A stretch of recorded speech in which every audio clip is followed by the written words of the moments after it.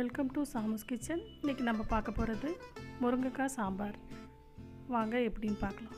இதுக்கு தேவையான பொருள்கள் முருங்கைக்காய் துவரம்பருப்பு வேக வச்சது சின்ன வெங்காயம் ஒரு பத்து பச்சை மிளகாய் ஒரு ரெண்டு தக்காளி ஒன்று கட் பண்ணி வச்சுருக்கேன்.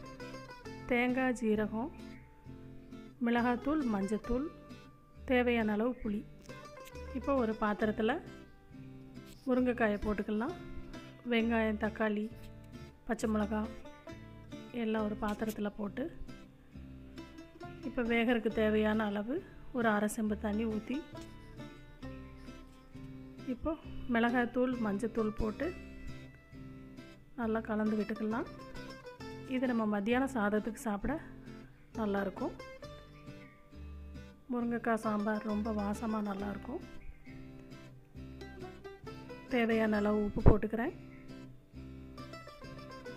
உப்பு போட்டு நல்லா கலந்து விட்டு மூடி போட்டு ஒரு அஞ்சு நிமிஷம் வேக வச்சுக்கலாம். இப்போ நல்லா கொதி வந்துருச்சு. முருங்கைக்காய் வெந்துருச்சான்னு பார்க்குறேன் முருங்கைக்காய் இன்னும் கொஞ்சம் வேகணும். இப்போ இதில் புளியை கரைச்சி ஊற்றிக்கலாம் சின்ன ஒரு லெமன் சைஸ் அளவுக்கு புளி போட்டுக்கிறேன். நல்லா கலந்து விட்டுக்கலாம். மூடி போட்டு இன்னும் ஒரு அஞ்சு நிமிஷம் அது வேகட்டும். புளியோட வாசமெல்லாம் போகட்டும்.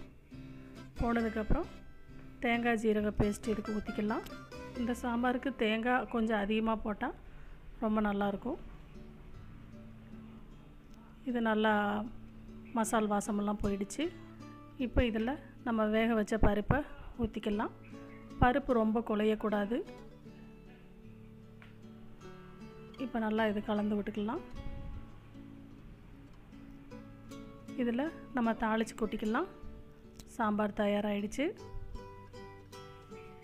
மல்லி செடி கொஞ்சம் தூவிக்கிறேன். சுவையான மதிய சாம்பார் தயார்.